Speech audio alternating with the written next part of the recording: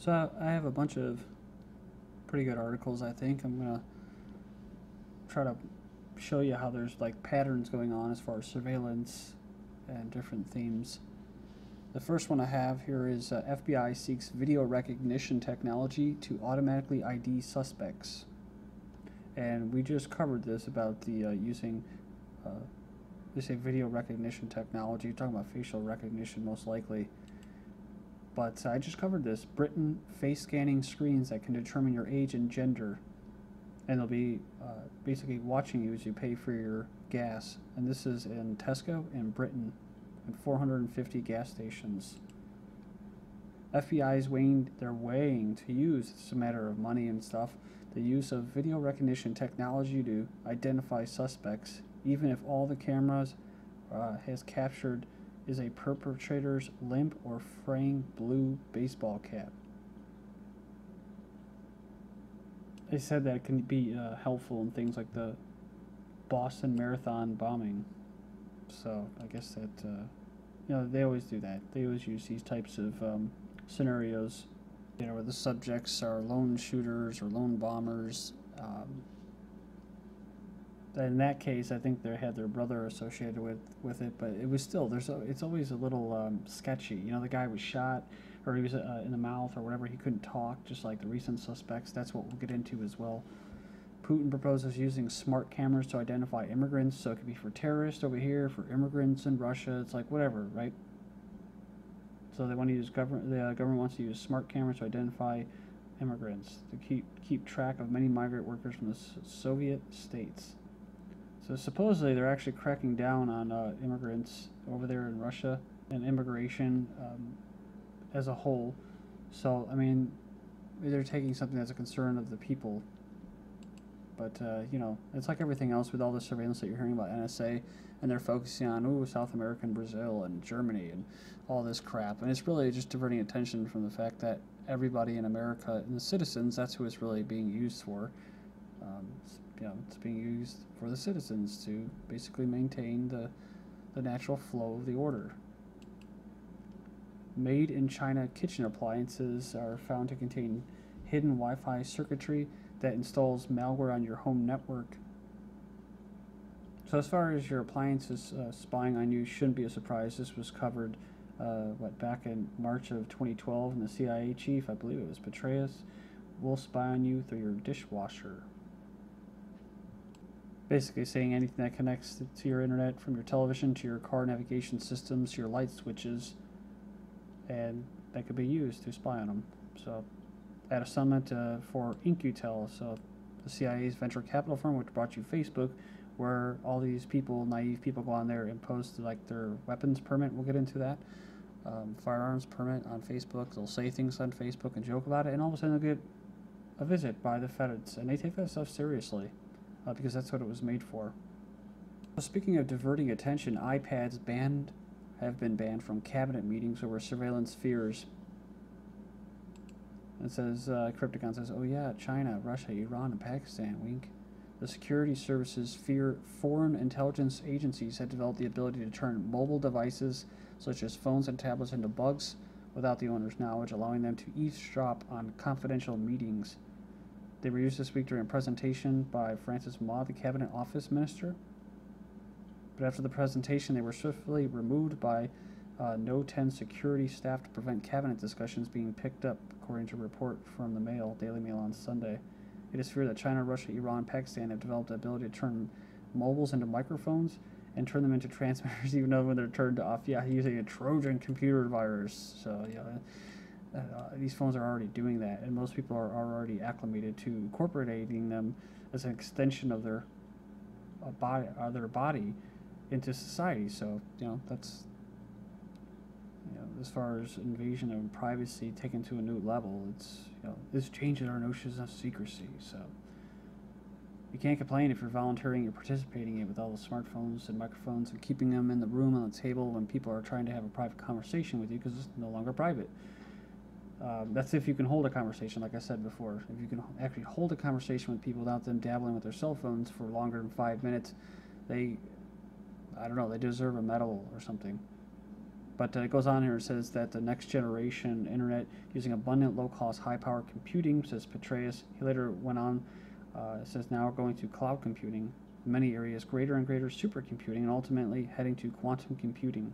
Yeah, a good example of, of that is this video that somebody uh, uh, linked to me. I forgot my phone from August of this year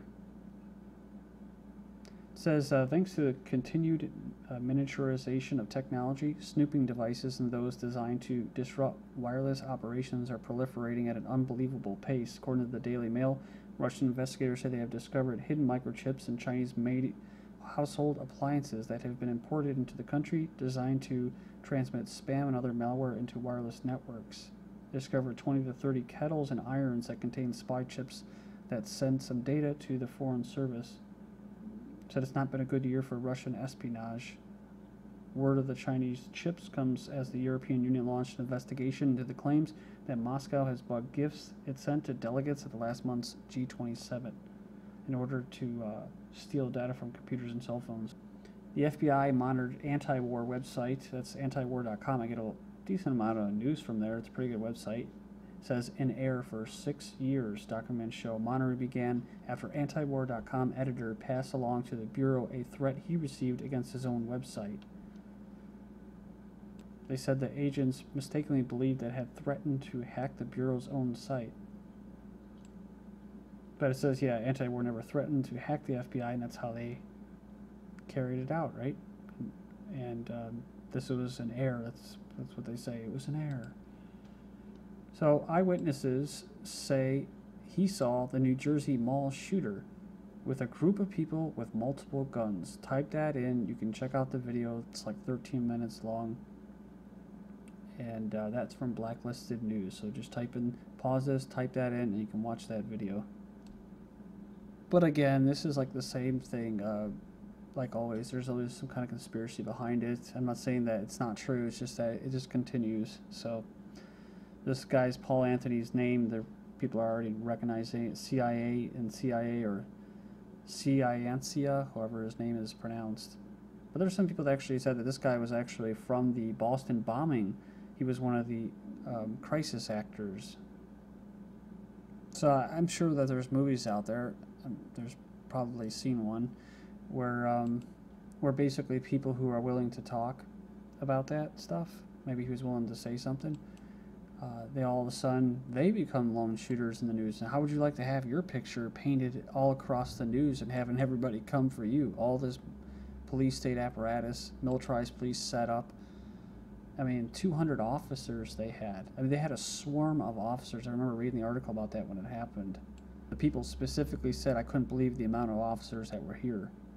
Like a commenter said, um, you know, all they have to do is just, you know, like a loud explosion or um, or you just go around like the guy did supposedly and started firing off shotgun shells. Everybody got scared shitless, right? And just scamper. But just like Tsarnaev, uh, the New Jersey mall shooter is found dead with a self-inflicted gunshot wound. So yeah, uh, dead guys don't talk, just like the um, like the uh, uh dummy that was being wheeled in a wheelchair after the LAX shooter. Actually, he was a TSA agent, but also the dummy that they said was the body of the shooter. So yeah, it is kind of hard to keep up with all this stuff. This is uh, September 30th, so almost October 1st. A New York shooting suspect body found in the Hudson River. The body of a suspected workplace shooter was pulled from the Hudson River on Monday. And this is after Westgate, right? And uh, in what was it, Kenya, I believe. And that kind of died down. Um, they were already, they already got operations going in Al Qaeda there in Mali and they're already carrying out drone strikes and stuff in Somalia and that. Uh, they're getting ready to press forward with more operations, building up a Lebanese or uh, Libyan army. So all the African uh, operations are going forward with the whole Kenya thing, but uh, got a little bad press when they realized that the actual government, the military troops of Kenya, that uh, were going around looting. they're caught on camera. So, but now it's before Christmas, the holiday season. So let's go ahead and scare the shit out of people, right? ramp up that fear. And so somebody asked me what I thought, it's what I meant to actually title last video.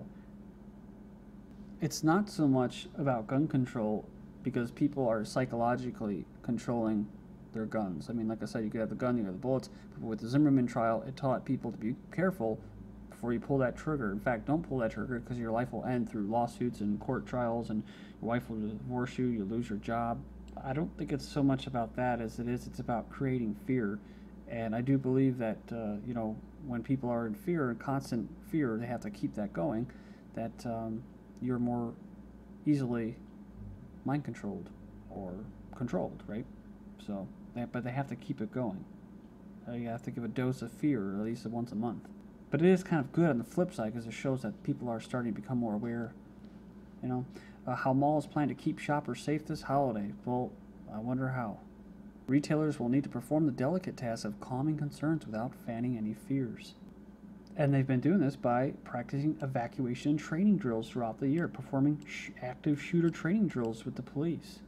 Ah, see, they even say it. Local police have become more active in creating informational materials, including videos and posters. Also, like the like the kids on the bus, they just scare the shit out of people. A lot of times, they don't even announce it that it's an actual training exercise, which is good because when you want to paste it across the mainstream media and call it real, it you know, everybody, I thought it was real. Lodi High School lockdown follows active shooter threat. Search reveals no weapon from November 6th in New Jersey. Keep the fear going. Then here, cops say charges are filed after a robber with a fake gun foiled by a clerk with a real gun.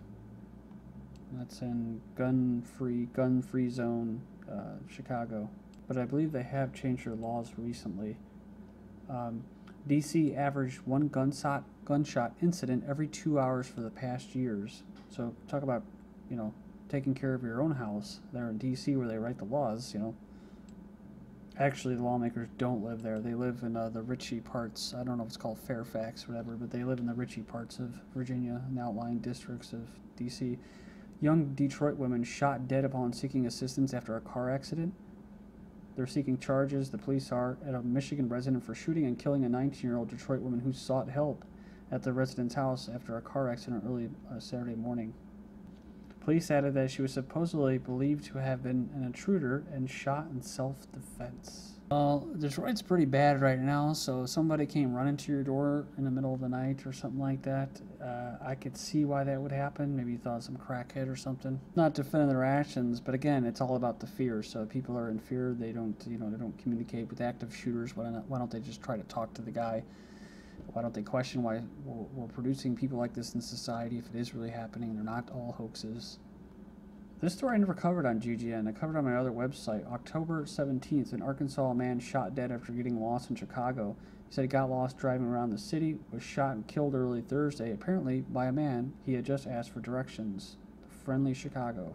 An Army veteran was banned from daughter's school after posting picture of weapons permit, says a report. So, like I said, don't post this stuff on Facebook, man. you know, po- uh, said her concealed weapons permit she posted it to Facebook. She was approached by a police officer from the County Board of Education and was warned that she was about to get a criminal trespass warning. So it says here the officer told her the principal at the school was scared of her and did not want her on the school property, she told the station. So, uh, just like I said, that's what the armed guards are going to be there for. That's what the beefed up security at the school shootings are going to create. They're going to create it so that parents aren't able to go and get their children from the re education camps when they want to. Like I've mentioned many times before, you'll see this in the future where you'll have these, not mega cities, but uh, mega schools where they're actually cities. They'll be boarded boarded there, but they'll be more like you know apartments. And so and you'll have to have your kid in them. And most people will be too busy working that they'll they'll welcome it. And they'll get visitation rights on the weekend of their kids who don't really want to see them the parents don't really want to see them anymore. And uh, they'll be raised completely by social engineers so. But if you are forced into having your child in one of these places and they start you know performing abortions at the school and and start euthanizing people and uh, start teaching them about sex education when they're like four years old, then and you're not for that, you might want to actually, by force, go in there and get your child out of there. I, this is extreme view, but I'm just saying down the road, you can picture where they would take this. They will have armed guards, they have all the security, and it'll all be built off. What? Through conservatives saying arm the teachers and armed guards and all this along with, of course, you know, the left and liberals uh, pressing for whatever they press for. Anyways, I thought I'd get more in here, but I'll just bust it into three videos. Uh, thank you for joining me for Wednesday, November 6th. This is GGN.